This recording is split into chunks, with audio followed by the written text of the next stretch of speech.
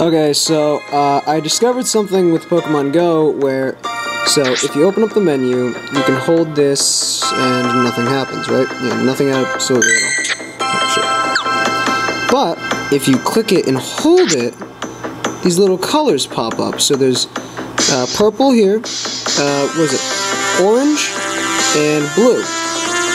So you have purple, red, orange, blue. And I don't know exactly how this works, but it doesn't open, it doesn't work normally. Like, you can't just uh, click and drag anywhere and have that happen. I think that might have to do with an Easter egg. Um, please, you know, like, fucking help me figure this out.